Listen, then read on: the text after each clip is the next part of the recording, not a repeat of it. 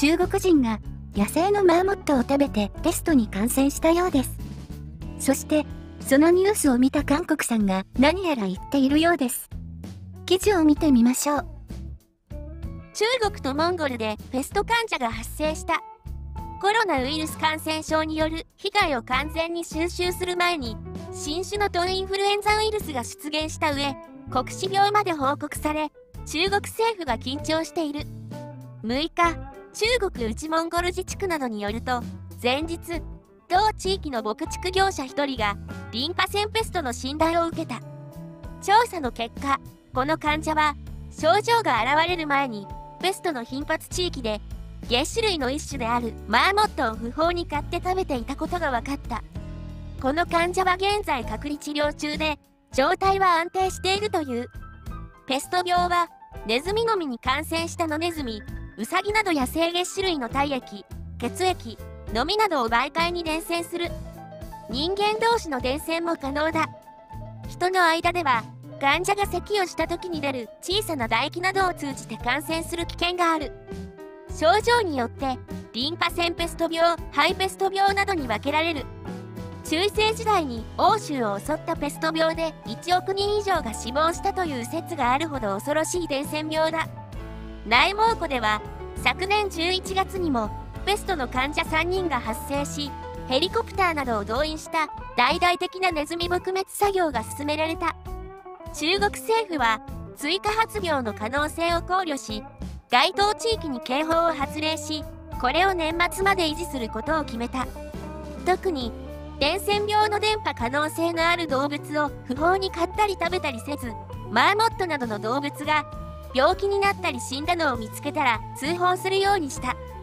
またペストの疑いのある患者や原因不明の高熱患者急死した患者がいれば直ちに保健当局に届け出るよう勧告した。中国と国境を接するモンゴル本土でもペストの感染が確認されたり疑いのある患者が続々と報告された。中国官営英字紙グローバルタイムズによるとモンゴル保健部は6日西部バヤンウルギーでペストの疑い患者1人を発見したと公開した。この患者は15歳の少年でやはり犬が飼ったマーモット肉を食べた後高熱症状などを見せた。これに先立って1日バヤンウルギー周辺の小窓地域でも住民2人がペストの感染が確認された。それぞれ17歳と27歳の兄弟である彼らも同様に買ったマーモットの肉を食べた後の症状を示したと新華社通信などが伝えた。在中韓国大使館の関係者は内モンゴルは韓国国民が夏のバカンス地として多く訪れるため同胞を対象に旅行注意案内を発表する予定だと話した。中央災難安全対策本部のキム・ガンミプ第一総括調整官はこの日政府セジョン庁舎での記者会見でペスト治療剤を持っている上治療経験やプロトコルをすでに確立しているとしコロナ19の状況であっても感染病の同時発生によるリスクは著しく低いものと認識していると述べた。これに先立ち先月29日中国の大学や疾病予防統制センター CDC 所属の科学者らが米国立科学院解放 PNAS に豚によって運ばれるが人が感染する可能性のある新たなインフルエンザウイルス G4 が中国で確認されたという論文を掲載したことが公開された。中国政府はこの問題を注視している。ウイルスの伝播を防ぐため必要なあらゆる措置を取ると明らかにした。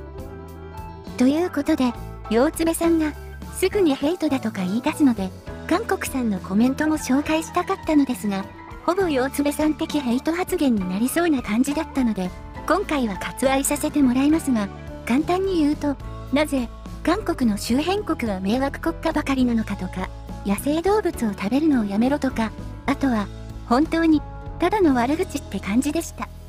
ただ、それ、そのまま韓国さんにも言えるのではといった感じな気もしました。もともと、韓国さんでは、犬を食べる文化がありますが、現在でも韓国産では犬を食べたというニュースは定期的に出てきますよね。つい最近もそんなニュースがあり、ちょっと衝撃的すぎて動画にするのはためらっちゃいましたが、そんな韓国さんに中国を非難する資格があるのかなと思っちゃいます。そして、韓国さんはよく、韓国の周辺国にはとよく言っていますが、日本からしたら韓国さんが一番あれなんですが、当の本人は自覚がないんでしょうね。ただ一つ言えるのは、中国も韓国も食文化に関してはお互い何も言う資格はないのかなと思いました。ということで、ご視聴ありがとうございました。それではまた次回の動画でお会いしましょう。